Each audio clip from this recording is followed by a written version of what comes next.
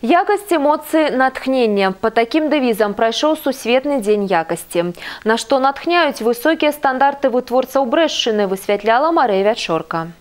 Молоко, хлеб, мясо, продукты, якія кожны дзень з'яўляюцца на вашым стале, праходзяць абавязковы кантроль якасці. Мы наведалі цэнтр стандартызацыі, метралогіі і сертыфікацыі, дзе гэты кантроль і ажыццяўляецца.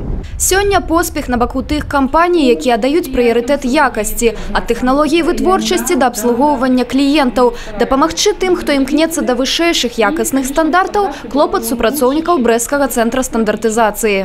Качество – это своего рода зеркало э, развития предприятия, потому что в нем отражается и применяемая техника, технологии, и, конечно, система управления предприятием. Сэрца цэнтра стандартызацыі яго лабараторыі. Ад вока гэтага прыбора не схаваюцца свінец, кадмій, ртуць, мыш'як. Іх змест не павінен перавышаць нормы.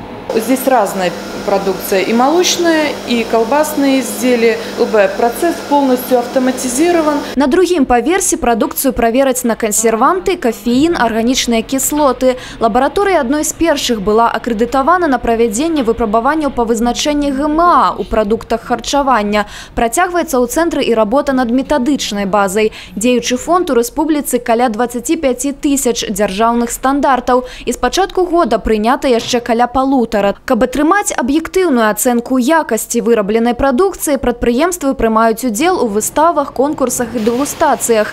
На прэмію ўрада гэтага года ў галіне якасці прэтэндуюць і прадстаўнікі нашага рэгіёна. Савышкін прадукт, а ад Белавежскі, Пружанскі малочны завод, прадпрыемствы граніт і торгмаш. На ўсіх гэтых прадпрыемствах дзейнічаюць сертыфікаваныя сістэмы менеджменту якасці, таму што якасць і бяспека харчовых прадуктаў сёння асноўнае патрабаванне спажыўцоў да прадукцыі, якая паступае на рынок. Марыя Вячорка, Тыграна Капян, абласныя навіны, Брэст.